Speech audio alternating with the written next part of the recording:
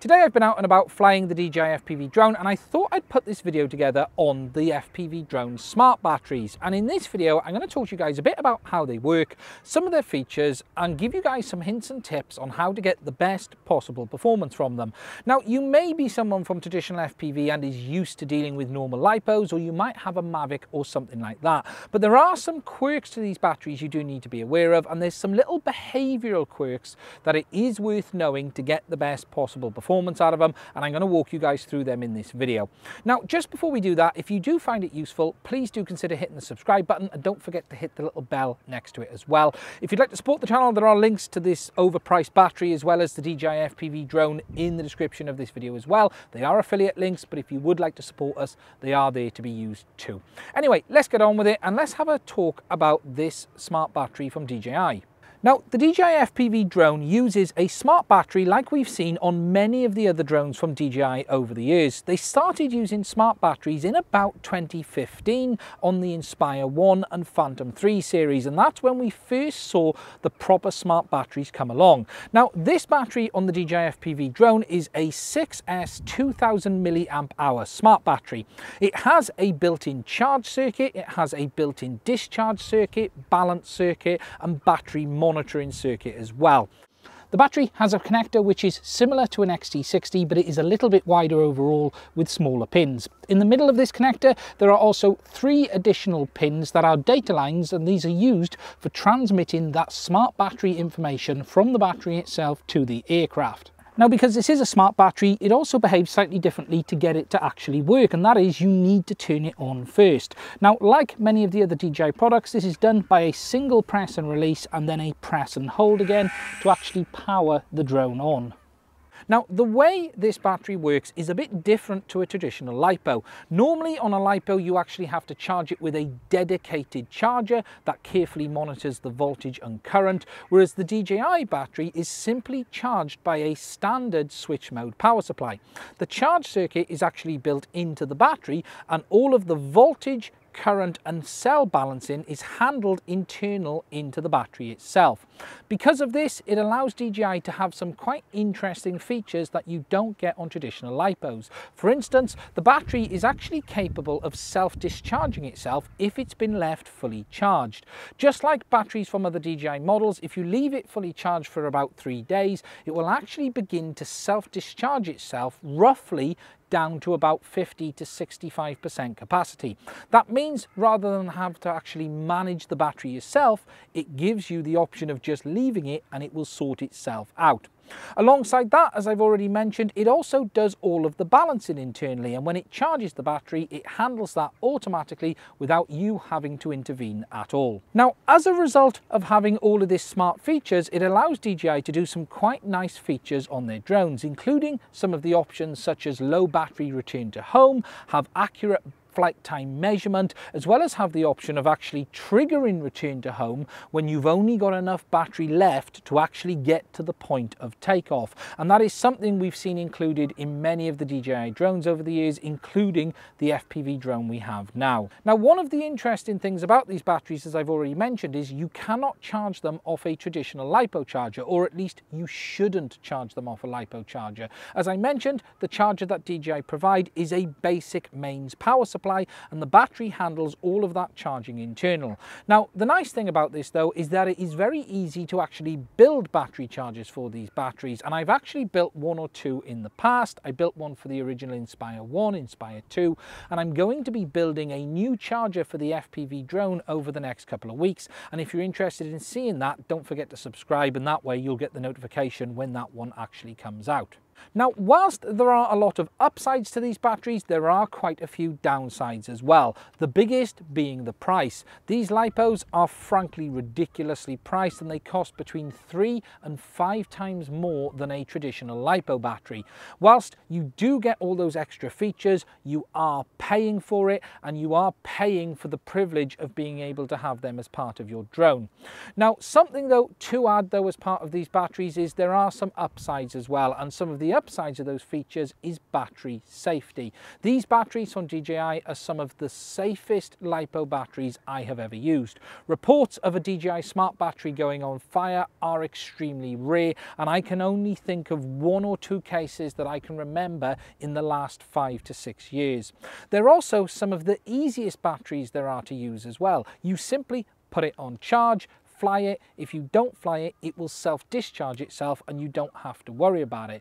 Charging is a breeze because you simply plug it in and there is very little to actually worry about with these batteries other than simply putting them on charge and flying them. However, there are some quirks to some of this behavior we're going to talk about a little bit in a minute as well. And there are some things you need to be aware of, especially around the self-discharging. Now, because it is a DJI Smart battery, it also has the built-in battery level meter, which you simply press the button and it will show you what the remaining capacity is. Now, something you might not be aware of is by pressing that, it also allows you to delay the self-discharge feature as well. So for instance, if you haven't used the battery for a few days, if you were to press that button every day, it would actually prevent the battery entering self-discharge and it would allow you to keep them fully charged rather than the battery self-discharge between three and five days later.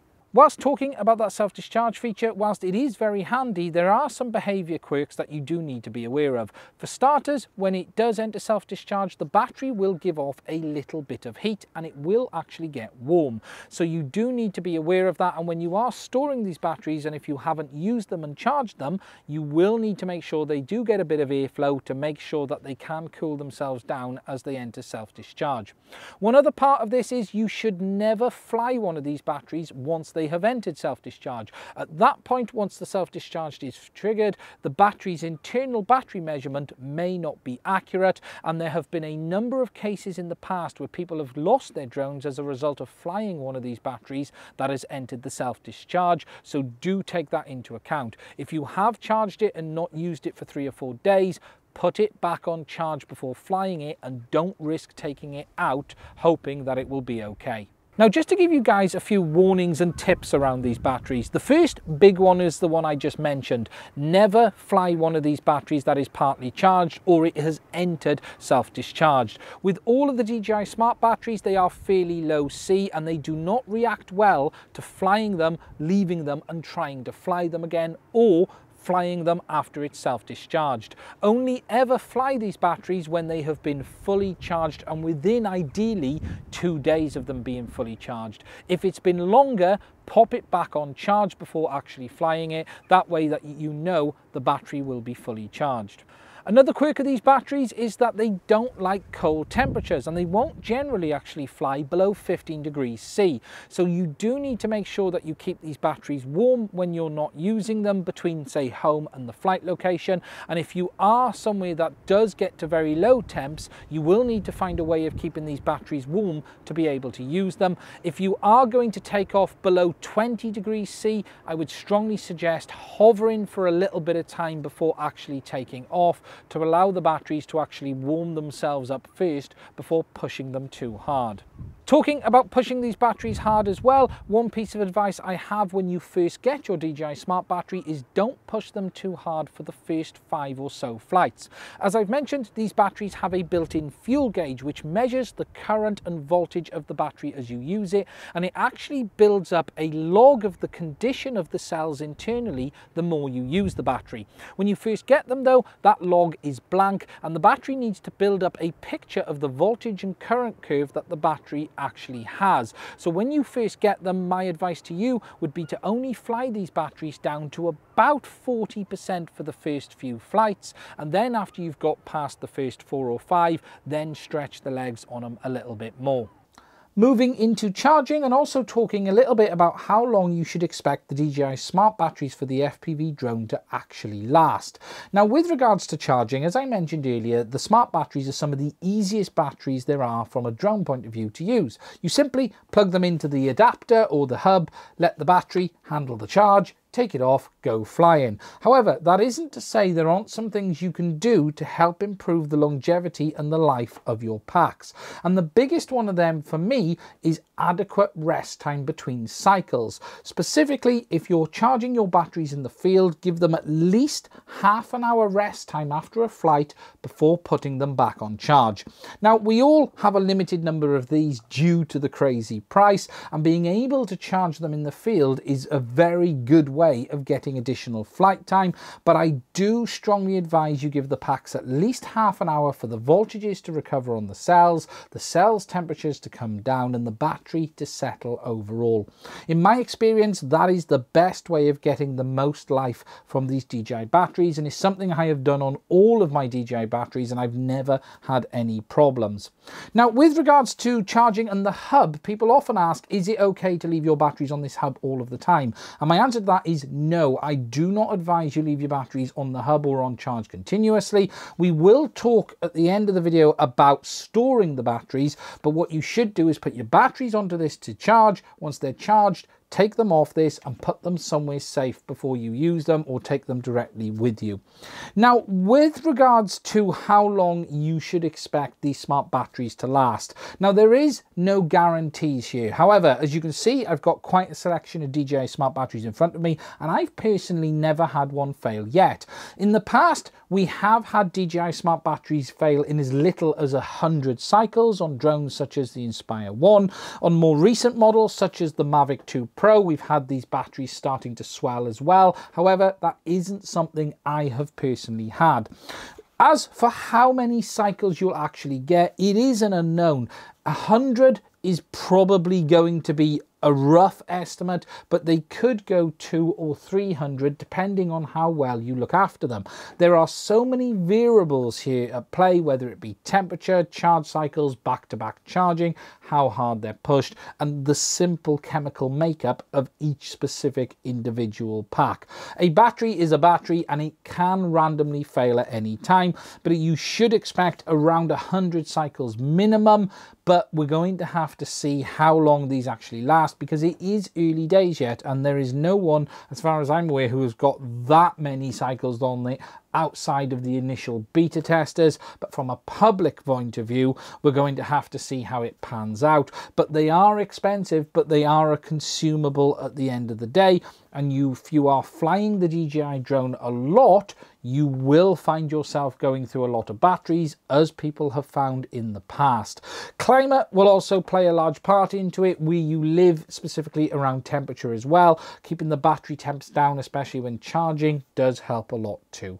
Now, one final thing I want to mention is how to store these batteries and how to store them long term. Now, the DJI batteries store ideally at about 50% charge, or for me, about two lights and one starting to flash. That is somewhere between 50 and 65% or roughly 3.85 volts per cell. That is the ideal voltage to store these batteries on. If you're going to store these batteries long term for say winter, charge them to about 70% and then leave them at that and check them every few weeks to make sure that they haven't dropped too much. Many of the new DJI batteries will enter a hibernation if you haven't used them for some time. Personally though, when I'm doing my batteries, I tend to check them every couple of weeks and then run them through a cycle every month or three just to make sure that the cells are getting exercised okay and you're keeping that fuel gauge up to date and the cells are actually able to balance themselves too.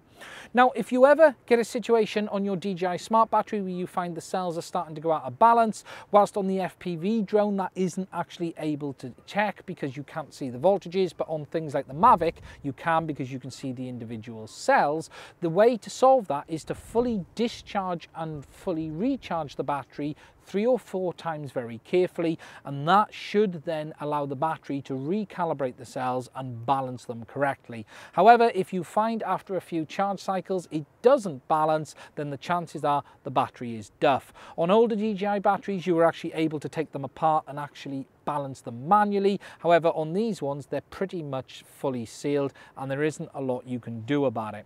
And that is pretty much it for this video. Now, really, there aren't many upsides to the DJI Smart batteries, but there are many downsides as well, the biggest being the cost, and they are extremely expensive. It is a shame you can't actually fly the DJI FPV drone with a traditional LiPo, and whilst it will let you power it up, it won't actually let you take off unless one of their smart batteries is attached. There are some people though having a play and they've actually been bolting extra batteries onto their drone as well, and we're going to see more and more people do mods like that over the next couple of months as people get used to using the drone. But overall, you do actually need to use the main DJI battery to be able to use it with the drone. Anyway, that's it for this video. I hope the information in it you have found useful. If you have, as I've already said, please do consider hitting the subscribe button and don't forget to hit the little bell as well. If you'd like to purchase some of these overpriced smart batteries, there are a link to them in the description of this video as well, as well as the DJI drone. It is an affiliate link, but by you guys using that, you are supporting the channel and I'm able to keep making videos like this in the future. Anyway, that's it for this one. If you're interested in my battery build, I'm going to be building a charger for these batteries as I mentioned, I'll be doing that in the next couple of weeks and I will be sharing that video on the channel as well.